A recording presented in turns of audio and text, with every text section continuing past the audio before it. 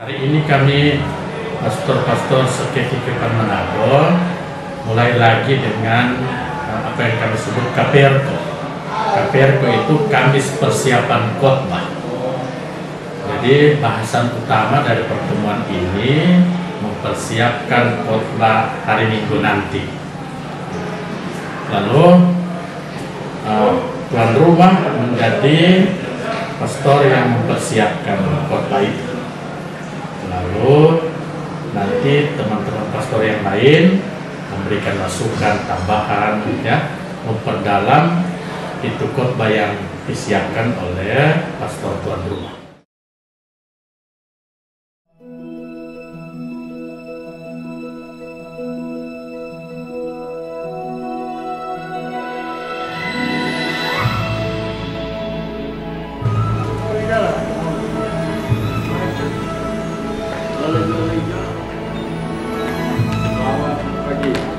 selamat pagi mas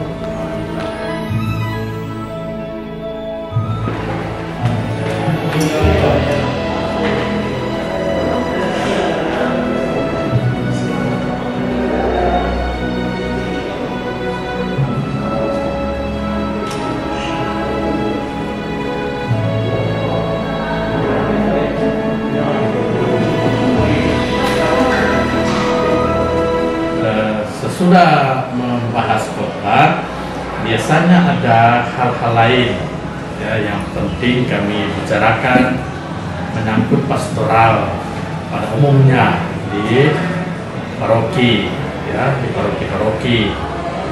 Ada hal-hal yang perlu dibicarakan bersama maka kami bicarakan bersama.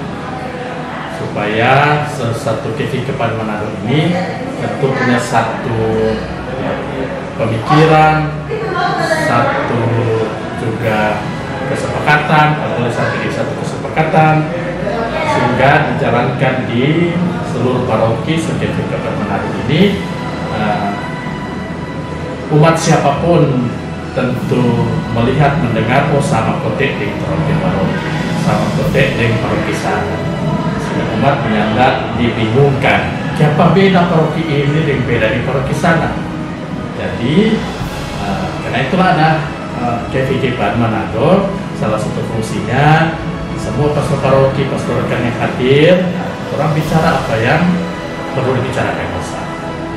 Memang yang menentukan tetap pastor paroki masing-masing, tetapi hal-hal yang uh, penting untuk setiap paroki dan ada hal yang perlu dilaksanakan bersama sebagai satu kehidupan itu kami bicarakan bersama.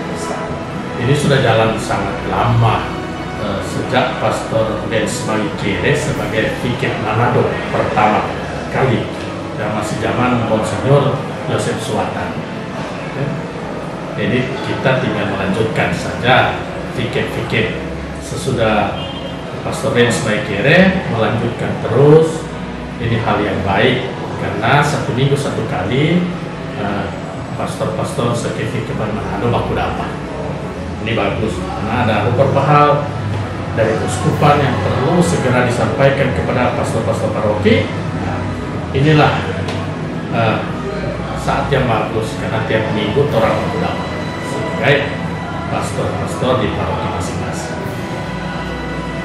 Nah tentu penuh harapan tahun 2022 ini bisa jalan lancar semua di paroki menunjang ini program-program uh, keuskupan ya. Program-program uh, paroki ya yang sudah disusun lewat program kerja tahun 2022 sehingga sebagai satu kehidupan uh, harus semua mendukung uh, keuskupan Manado saya kira itu saja dari saya sebagai mau menggarisbawahi apa yang uh, selalu dibuat setiap hari Kamis uh, satu minggu Begitu, terima kasih.